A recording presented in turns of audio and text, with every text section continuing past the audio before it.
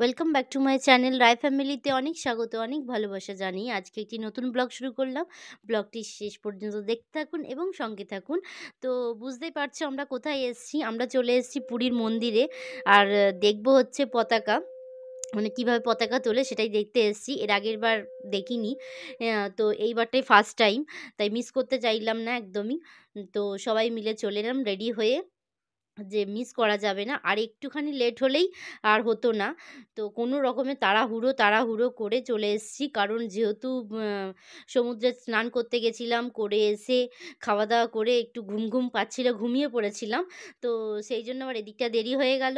তো কী আর করা যাবে? যাই হোক, শেষমেশ আমরা দেখতে পেলাম পতাকা তোলা। তো দারুণ লেগেছে। খুব সুন্দর। মানে প্রথমবার দেখলাম, প্রথমবার খুব ভালো লেগেছে। মানে অতটা উঁচুতে উঠে আবার পতাকা লাগিয়ে আবার নেবে এলো। ব্যাপক লেগেছে, দারুণ দারুণ। তবু আমরা মন্দিরের ভেতরটায় যেতে পারিনি, কারণ দেরি হয়ে গেছিল। মানে কোনো রকমে মানে অটো থেকে নেবে আর কি সামনেই ওখানটায় দাঁড়িয়ে গে মানে দাঁড়িয়ে পড়েছি, নইলে আর দেখতে পেতাম না ভেতরে যেতে গেলে। ভেতরে গেলে গিয়ে মানে দেখলে আরও ভালোভাবে দেখা যেত। তো আমরা ওইখান থেকে বেরিয়ে আবার চলে এলাম, এইদিকে এখন যাব বৃন্দাবন ধামের দিকে। তো বৃন্দাবন ধাম যেতে আমাদের এবার একটা অটো রিজার্ভ করতে হলো। অটোটা মানে একদম ভাড়া করে নিয়েছি। একটা অটোই সবাই ধরে গেছে। তো সবাই মিলে যাচ্ছি আর কি। তো চলো সবাই ভিডিওটা শেষ পর্যন্ত দেখতে থাকো আর সঙ্গে থাকো। যখন আমরা অটো করে সমুদ্রের ধার দিয়ে যাচ্ছিলাম, তখন ব্যাপক লাগছে সমুদ্রকে দেখতে। দেখো, দোকানপাট সবই খুলে গেছে, আমাদের খুবই তাড়া ছিল। কারণ তাড়াতাড়ি করে যেতে হবে, নইলে গেট বন্ধ করে দেবে, দেখতে পাবো না, আর অন্ধকার হয়ে গেলে দেখা যাবে না। তো সেই জন্যই তাড়াহুড়ো করে যাওয়া বৃন্দাবন ধামের দিকে। তো যাচ্ছি, তো চলো, তোমাদেরকে গিয়ে একেবারে দেখাচ্ছি। চলো দেখতে থাকো, আর দেখো কত সুন্দর লাগছে সমুদ্রকে। তোমরা দেখতে পাচ্ছ কি না জানি না। ওই দেখো দূরে সমুদ্রের ঢেউ আসছে। দারুণ লাগছে গো, দারুণ লাগছে।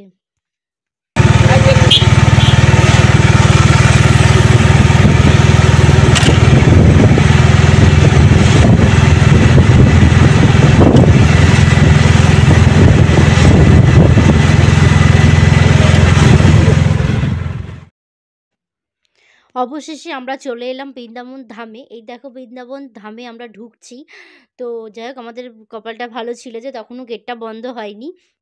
আর মানে ঢোকার গেট একটা আর বেরোবার গেট আর একটা ছিল। মানে ঢোকার গেটে সেই সবে মানে বন্ধ করে দেবে। আর সেই টাইমেই আমরা গেছি। যাক, আমাদের কপালটা খুব ভালো ছিল। তো আমরা ঢুকে পড়তে পেরেছি। আর এই দেখো জগ- জগন্নাথ দেবের ফটো তো এরকম এটা অনেকটা বড় একটা এরিয়া ছিল। তো পুরো এরিয়াটা আমরা ঘুরে ঘুরে দেখতে দেখতে সন্ধে হয়ে গেছে। অনেক রকমের সুন্দর সুন্দর মূর্তি ছিল। আর প্রচুর ভিড়ও হয়েছিল। মানে তখন শেষের দিকে তবুও কত ভিড় হয়েছিল। ভেতরে কত লোকজন ছিল। আর অন্ধকার হবে হবে হয়ে এসছে আর কি। আর এত সুন্দর জায়গাটা, কি বলব? এর আগে আমি, এর আগে যখন এসেছিলাম তখনও এসেছিলাম। এসে ঘুরে গেছি। আবার এখন আবার দেখার সুযোগ হয়ে গেল। তো এই নিয়ে দ্বিতীয়বার হলো।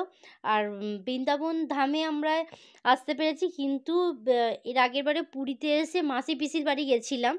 কিন্তু এখন মাসি পিসির বাড়ি বন্ধ। এখন মাসি পিসির বাড়ি যাওয়া যাবে না। তো সেই জন্য এটা খোলা ছিল, এখানেই এসছি। আর পরে দেখি আর কোথায় কোথায় যাওয়া যায়। তো প্রায় অন্ধকার হয়েই গেছে। তো দেখি আর কোথায় কোথায় খোলা আছে। এত সুন্দর জায়গাটা দেখে আমরা শেষ করতে পারছি না। আর এত বড়, খুব বড় জায়গাটা।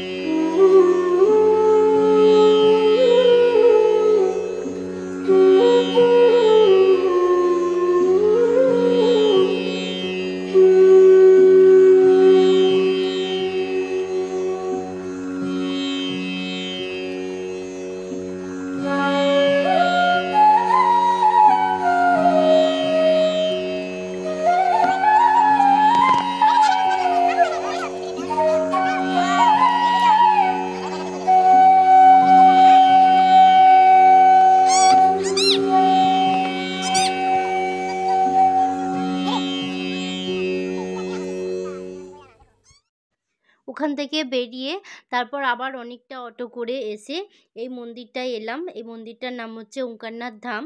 তো ওই মন্দিরটাও খুব সুন্দর, অনেক বড় মন্দির। আর আমরা ভেবেছিলাম হয়তো বন্ধ হয়ে যাবে, কিন্তু না, সন্ধে হয়ে গেছিল যেহেতু এটা মন্দির, তো সেই জন্য খোলা ছিল। দেখো কি সুন্দর প্রিন্ট করা দেয়ালে, দারুণ। এই মন্দিরটাও খুব সুন্দর। অনেকটা বড় মন্দির, ঘুরে ঘুরে আমরা দেখছিলাম, অনেকটা সময় লেগেছিল। আর এখানে অনেকগুলো শিব ঠাকুরের মূর্তি আছে, শিবলিঙ্গ রয়েছে। তো সেগুলোও আমরা দেখেছি সবকটাই। খুবই সুন্দর।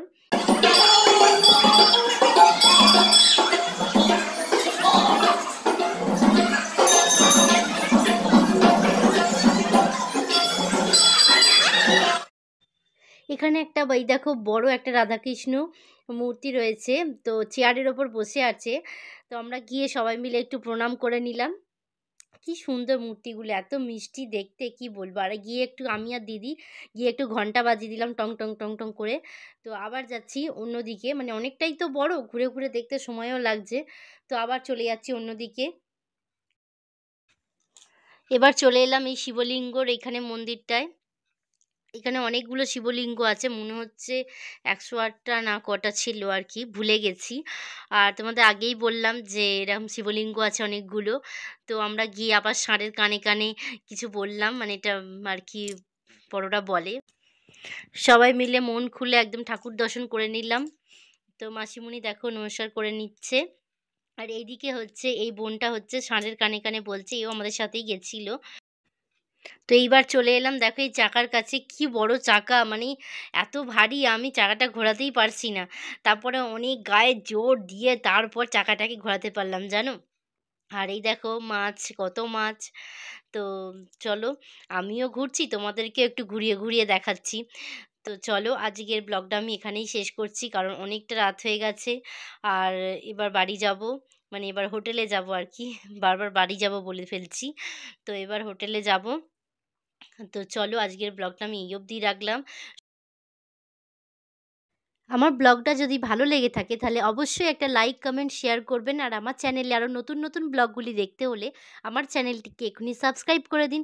টাটা বন্ধুরা, সবাই খুব ভালো থেকো গুড নাইট